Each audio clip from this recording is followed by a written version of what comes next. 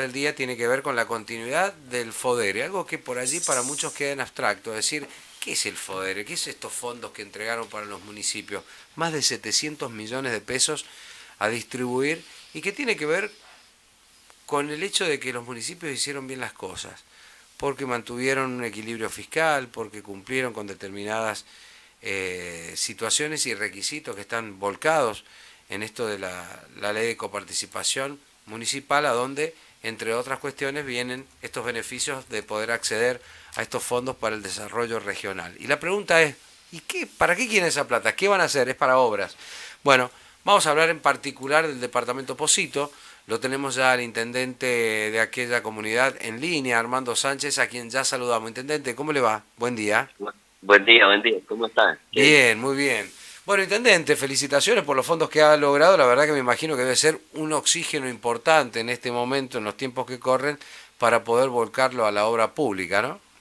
Sí, la verdad que estos fondos que envía la provincia del Poder eh, realmente son exclusivamente para obras y nosotros tanto el 2020, el 2020, el 2021 y ahora este 2022 presentamos proyectos de asfalto porque Posito es un departamento muy extenso y, tenemos muchas calles principales que cada vez hay más tráfico y bueno, necesitamos, digamos, mejorar la, las vías de circulación, ¿no? Eh, estos fondos se pueden usar solamente para obras, para cuneta, iluminación, asfalto y demás. Nosotros hemos presentado el proyecto para estos fondos del 2022, y ayer lo anunció el gobernador en Casa de Gobierno, para asfaltar la calle Maurín desde calle 7 hasta calle 10, que es la, calle Maurín, para quien conoce, no conoce el departamento, va paralela de, norte a sur, sur a norte, al oeste de la ruta 40, al oeste de la ah, colectora, la ruta 40.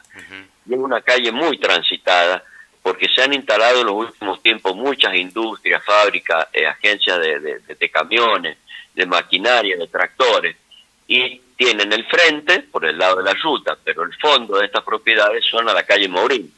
Y es una y es una rueda de auxilio intendente para la avenida Uñac y para la ruta en algún momento, si hay algún corte, algo. Eh, exactamente, aparte una rueda de auxilio, como usted lo dijo, cuando hay algún partido importante, algún evento grande en el Estadio El Bicentenario, mucha gente ocupa esa calle, la calle Maurín, como vía de escape, por así decirlo, por el congestionamiento de vehículos que hay en la avenida Joaquín Uñá, el congestionamiento que hay en la colectora o en los costados de la ruta 40, las calles, eh, los vehículos transitan por calle Maurín y es una calle, es una zona que se está poblando ya eh, mucho, mucho, y los vecinos obviamente, la molestia de la tierra que se levanta, este, así que nosotros presentamos un proyecto, cada municipio presenta los proyectos en lo que quiere invertir y la provincia lo aprueba este, o no.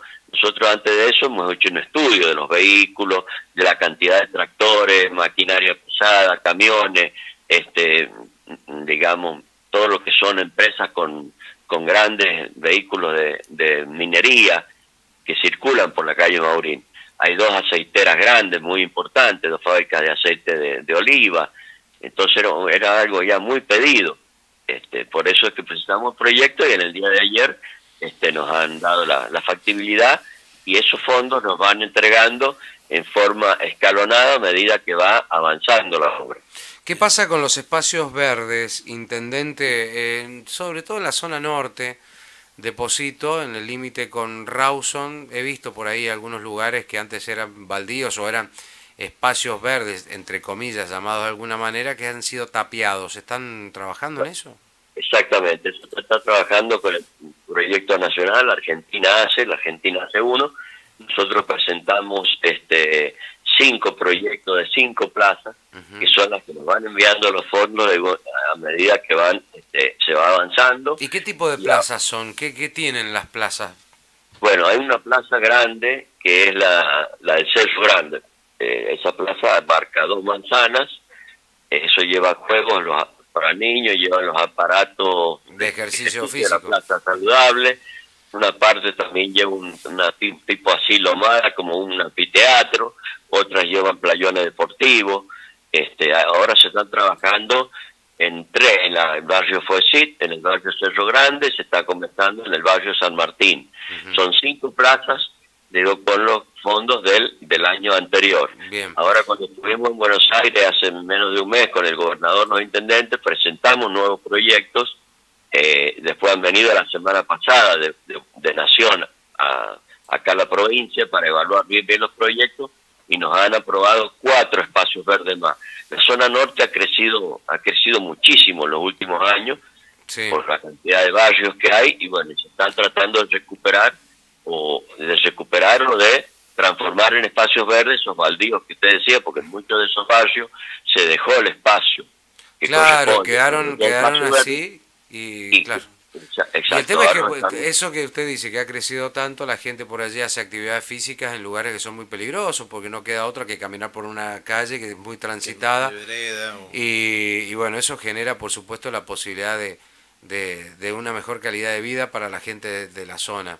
Ahora también le quiero preguntar, y a lo mejor no es la solución, pero pregunto desde la ignorancia total, en esos barrios que usted marca, eh, hay una realidad donde no están pavimentados y se está dando permanentemente la rotura de caños en las calles por el tránsito pesado de camiones y demás, y yo no sé si el pavimento lo va a preservar o no, pero por allí la intervención de OCE es permanente en distintos lugares se van rompiendo cañerías de la calle, ¿no?